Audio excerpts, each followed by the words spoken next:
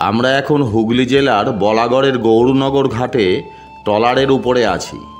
উদ্দেশ্য গঙ্গা পার হয়ে নদিয়া জেলার কল্যাণী ঘোষপাড়ায় যাব। পার হলে চাকদা ঘাট থেকে গন্তব্যস্থল একুশ কিলোমিটার। ট্রলার ছটা পঁয়তাল্লিশে ছাড়বে। ভক্ত ভগবান ভক্তিবাদ, তিনে মিলে অনন্য বঙ্গের নদিয়া। এই জেলার ছত্রে ছত্রে ঈশ্বরের অবস্থান। নদিয়ার অন্যতম সদর শহর হল কল্যাণী। সেখানেই রয়েছে সতী মায়ের মন্দির। মানুষ ঈশ্বরে পরিণত হয়েছে এই মন্দিরের ইতিহাসই তার প্রমাণ। সংসারের এক মা এখানে জগতের মায়ে রূপান্তরিত হয়েছেন।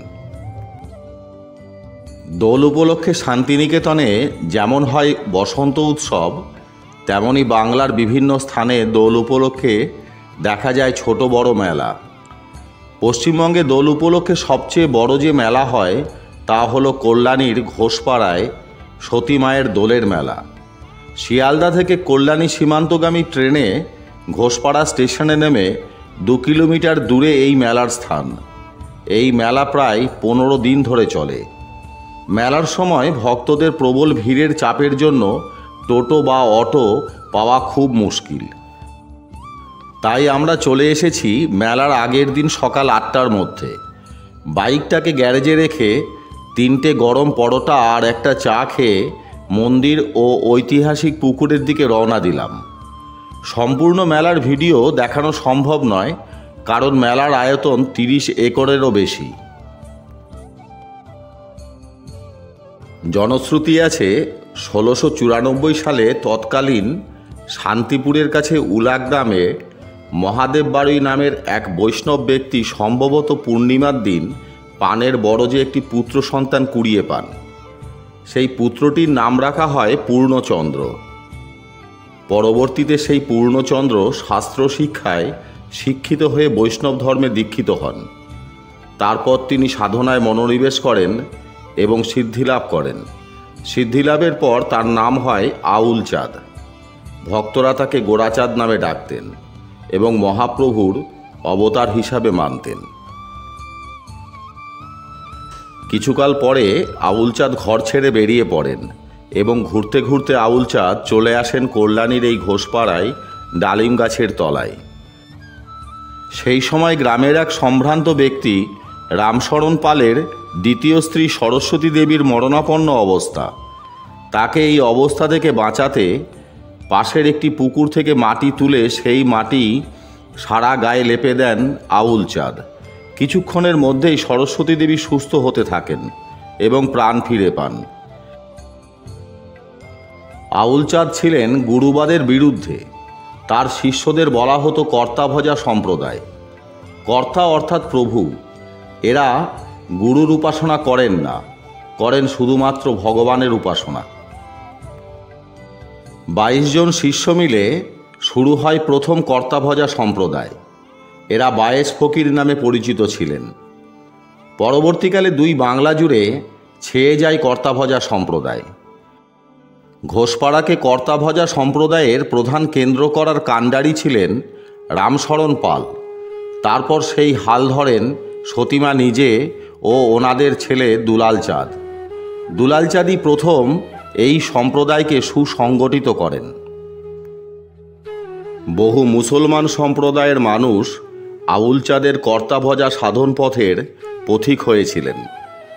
ধর্মভেদ, জাতিভেদ প্রথাকে বুড়ো আঙুল দেখিয়ে খ্রিস্টীয় অষ্টাদশ ও ঊনবিংশ শতাব্দীর সন্ধিলগ্নে বহু হিন্দু মুসলিম এই কর্তাভজা দলে সামিল হয়েছিলেন।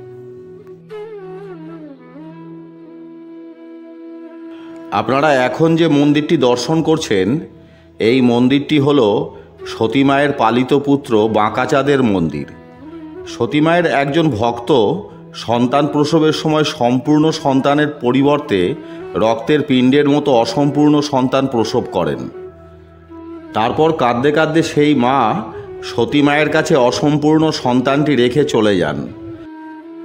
সতীমা সেই সন্তানকে তার ঐশ্বরিক ক্ষমতায় সম্পূর্ণ রূপদান করেন এবং ওই সন্তানের নাম রাখেন বাঁকাচাঁদ। পরবর্তীতে এই বাঁকাচাঁদ একজন বিখ্যাত বৈষ্ণব সাধক হয়ে ওঠেন। খ্রিস্টীয় অষ্টাদশ শতকের মাঝামাঝি বাংলায় গড়ে ওঠে আউল সমাজ। এই সম্প্রদায়ের আদি গুরু ছিলেন আউল চাঁদ আউল চাঁদ পরলোক গমন করলে আউল সমাজের কর্তাপদ লাভ করেন রামশরণ পাল। তারই দ্বিতীয় স্ত্রী ছিলেন সরস্বতী দেবী, যিনি দীর্ঘদিন বাড়ির ডালিমতলায় সাধনার পরে সতীমা নামে প্রসিদ্ধি লাভ করেন। এই সরস্বতী দেবী হলেন সতীমা, যার নামে সতীমায়ের মন্দির বা সতীমায়ের মেলা। সতীমাকে বৈষ্ণবদের কর্তাভজা সম্প্রদায় মানবী দেবী বলে মনে করেন। এই সেই পুকুর, যে পুকুরে স্নান করে ভক্তদের মন্দিরে ডালিম গাছে ঢিল বেঁধে মানত করলে তাদের মনস্কামনা পূর্ণ হয়। আর মনস্কামনা পূর্ণ হলে আবার এসে ডালিম গাছ থেকে ঢিল খুলে ফেলতে হয়। এটাই সতীমায়ের মন্দিরের নিয়ম। এখানে নিত্য পূজার পাশাপাশি প্রতি শুক্রবার বিশেষ কীর্তনের আসর বসে। শোনা যায় সতীমার কৃপায় অনেক মুখ, বধির, অন্ধ ও অন্যান্য দুরারোগ্য ব্যাধিতে আক্রান্ত অনেক রুগী নতুন জীবন লাভ করেছেন।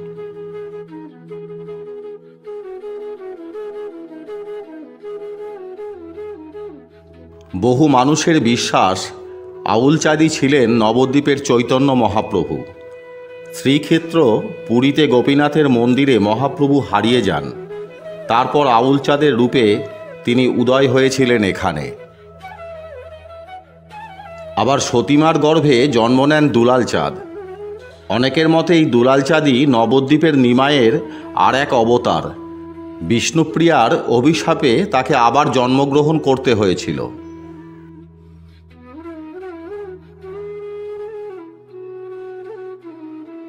আমরা এখন ডালিমতলায় দাঁড়িয়ে আছি। এই সেই ঐতিহাসিক ডালিম গাছ যেখানে দীর্ঘকাল সতীমা সাধনা করে বাকসিদ্ধ হয়েছিলেন। অনেকের মতে গাছটির বয়স প্রায় পাঁচশো বছর।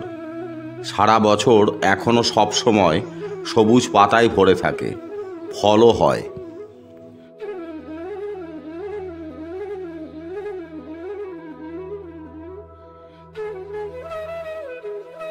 ভক্তরা স্নান করে দণ্ডি কেটে ডালিম গাছ পর্যন্ত গিয়ে সতীমায়ের পুজো দেন।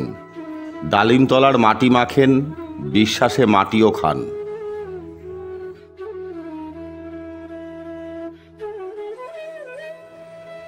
মন্দিরের প্রবেশপথ ও ডালিমতলায় চারপাশে অসংখ্য ডালার দোকান।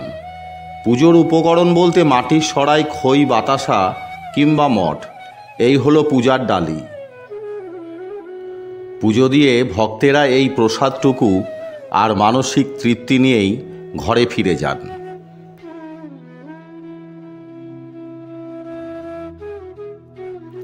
মাত্র সাত বছর বয়সে সতেরোশো তিরাশি খ্রিস্টাব্দে পিতা রামশরণ পালকে হারান দুলাল চাঁদ।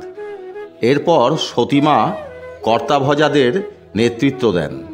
তারপর দুলালের বয়স যখন ষোলো হয় তখন কর্তাভজাদের নেতৃত্ব তিনি নিজেই দিতে থাকেন।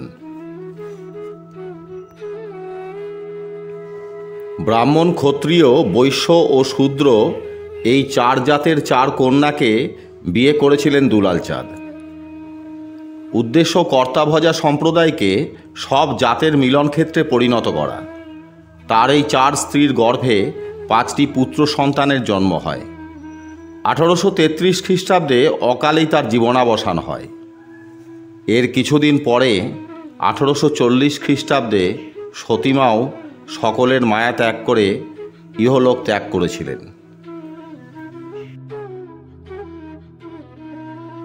আপনারা এখন দর্শন করছেন সতী মায়ের সমাধি মন্দির।